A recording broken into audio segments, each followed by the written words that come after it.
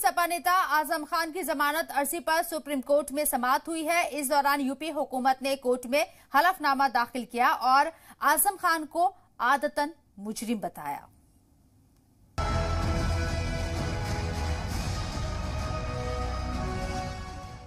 कभी अपने एक फ़ोन से किसी भी मुलजिम को थाने से रिहा करवा देने की हैसियत रखने वाले सपा लीडर आज़म खान खुद की रिहाई के लिए लखनऊ से दिल्ली तक दौड़ लगा रहे हैं।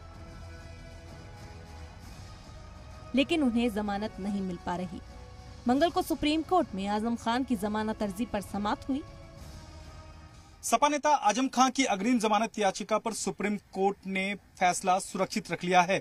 आज सुनवाई के दौरान सुप्रीम कोर्ट में यूपी सरकार के अलावा आज़म खान की ओर से पेश वकील कपिल सिब्बल ने सुप्रीम कोर्ट से कहा कि यह दुर्भावना से ग्रसित की कार्रवाई है। समात के दौरान यूपी सरकार ने आज़म खान पर हलफनामा दायर किया। हलफनामे में सरकार ने आज़म खान को आदतन मुजरिम बताया है। सरकार ने कहा कि आज़म खान लैंड माफिया हैं। आज़म खान को आदतन मुजरिम बताते हुए एस एसपी राजू ने कहा है कि आज़म खान के खिलाफ 60 से ज़्यादा मकामी लोगों ने केस दर्ज कराए हैं और 19 केस पिछली सरकार में दर्ज हुए।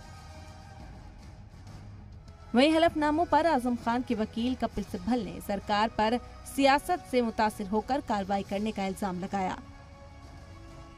भारतीय जनता पार्टी ने जो हलफनामा उनके बारे में दायर किया है, भारतीय जनता पार्टी का समूचा चरित्र वही है। सच बात तो यह है कि जो सारे भू माफिया हैं, उत्तर प्रदेश के जो दस टॉप टॉप टेन जो भू माफिया हैं टॉप टेन जो अपराधी हैं, वो सब भारतीय जनता पार्टी में कहीं न कहीं भारतीय जनता पार्टी के दिवालिया होने का और मानसिक रूप से, राजनैतिक रूप से, सामाजिक रूप से सब तरह के विमर्शों में गिरावट का प्रतीक।